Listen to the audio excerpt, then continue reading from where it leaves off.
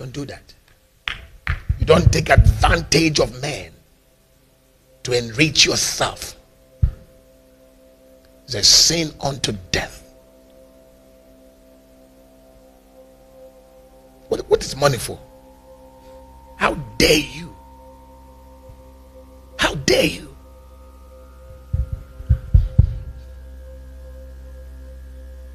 When I got there, it was after that. They, the top persons and ministries, they were all calling me in, telling me what was happening.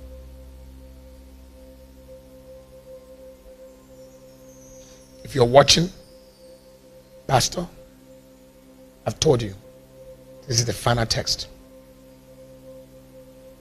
Calculate everything that you, you took from people and wait for my further instructions. Because every cent must be refunded.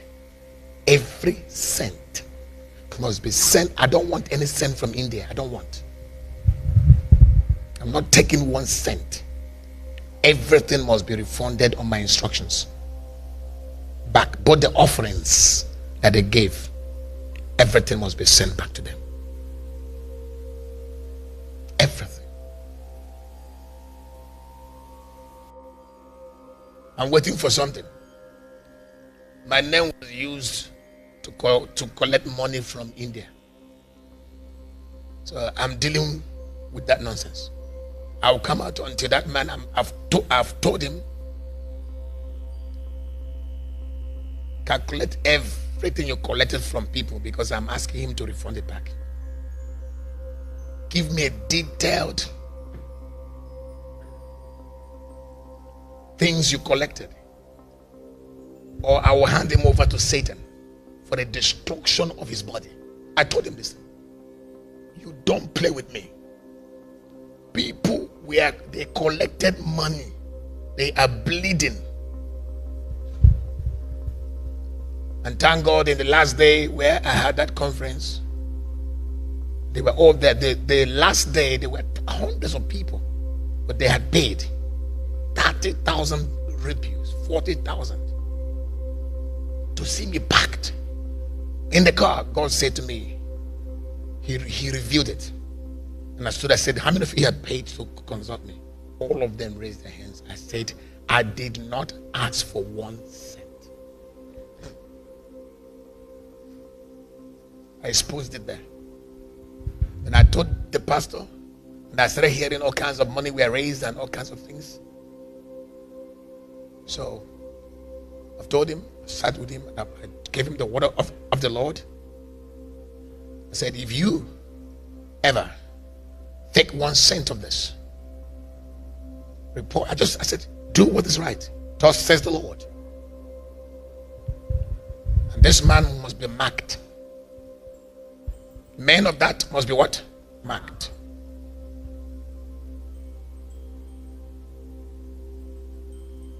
If he does the right thing,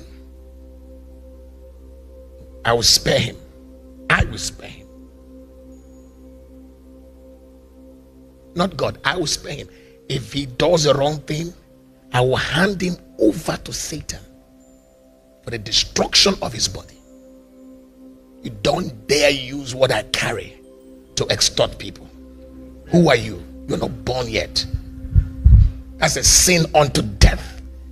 And as an apostle, I will stand on my apostolic mandate to hand him over to Satan. Paul didn't consult God to hand people over to Satan. Uh, he's, he's, he's, he's an apostle, he's a defender of the kingdom.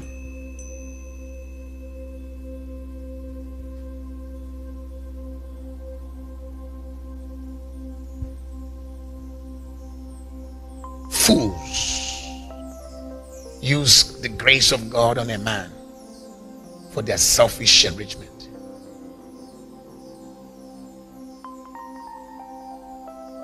You have not built any influence, you just took advantage.